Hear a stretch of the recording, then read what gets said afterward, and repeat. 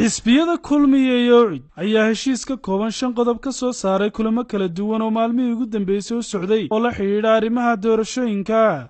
Waxaana heshiiskoodani ku saleeyeen inuu la xidhiidha kulamadii kala dambeeyey u socday xisbiyada qaranka kuwaasooy tilmaameen inay hore goobo kala duwan uga soo qabsoomeen. Qodobaday labada xisbi ku hesheeyeen ayaa u dhignaa sidani. Xisbiyada ucid iyo kulmiya waxay isla afkarteen doorashada golayaasha deegaanka iyo wakiiladu ay qabsoonto bisha noofembar ee sanadkan laba kun iyo sagaaliyo toban.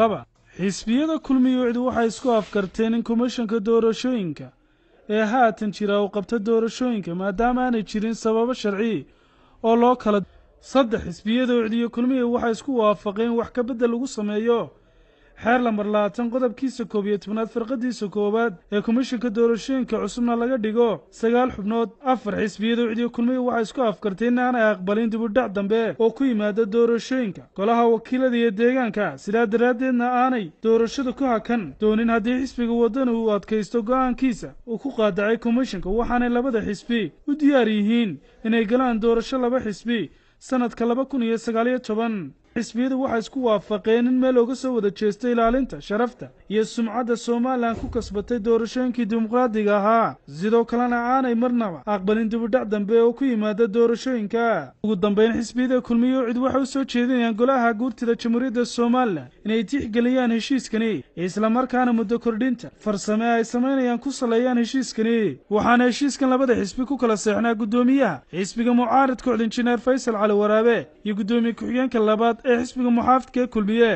axmed cabdidheere heshiiskan ka kooban shanta qodob ee sida wada jirka u soo saareen xisbiyada kulmiye ucid ayaan la garanayn jawaabta uu ka bixin doono xisbiga mucaaridka waddani. Isagoona maalmihii ugu dambeeyey socdeen guddiyo kala duwan oo iskaga dabqaadayay saddexda xisbi qaran. Cali axmed cabdi cali cantar oo ka mid a mas'uuliyiinta xisbiga mucaaridka waddani oo telefishinka saab ugu warramayay magaalada hargeysa ayaa si adag uga soo horjeestay shan qodob ay soo saareen xisbiyada kulmiye ucid oo la xidhiidha arrimaha doorashooyinka waxaanu tilmaamay in xisbi ahaan aaminsan in la kala diro komishanka doorashooyinka somalilan.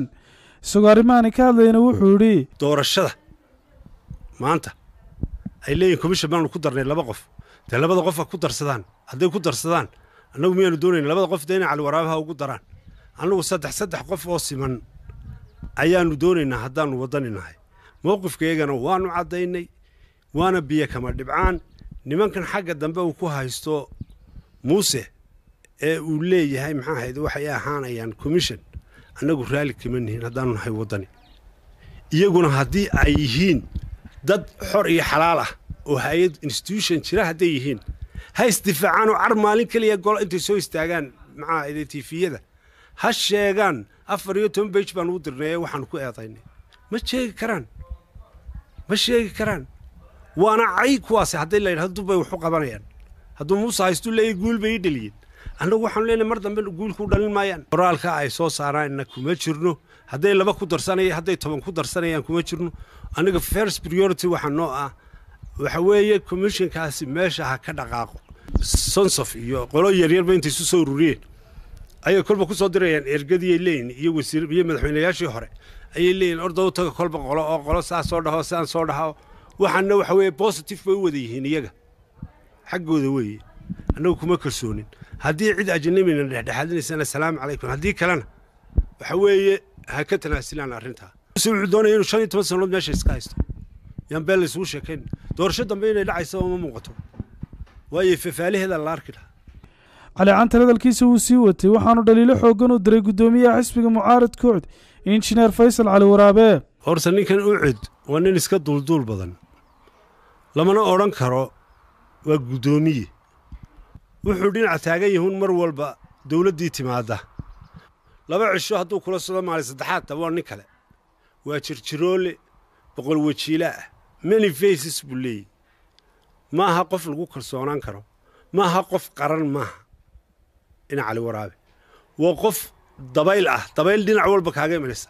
Mar nacas baad moodaysaa mar fariid waxyaro kala garanayaad moodaysaa mar nin weyn baad moodaysaa mar carruur baad moodaysaa waxa weeye nin isku mida maaha oo stabla maaha noloshiisuna stable maaha.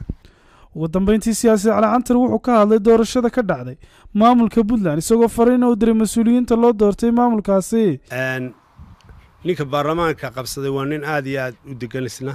Ninka madaxweynaha u noqday puntland ummaddan puntlandna waa nin aada u degan labaduba waa laba nin oo aada u degan waxa weeye halkaas waxaan maqlayay waraysi la waraystay oo waxa somalilan uga iman kara. Waxa weeye ninaynaan isku qabsan horta dalka in nabad lagu wado oo nabad lagu soo dabaalo tukaraq iyo nawaaxigeeda waxaa ka taagan dagaallo. Dagaaladaa ka taagan waxaanu qabnaa haddaanu wadani nahay in nabad lagu wado nabad lagu soo dabaalo oo laga daayo colaadda waayo colaad wiil baa ku dhintay wiil kuma dhasho. Labada dhinac waxaa ka dhimanayaana dad soomaaliyeed weeye talabaad waxa weeye annagu somalilan baanu nahay. Somalilan haddaanu nahay xad baanu leenahay.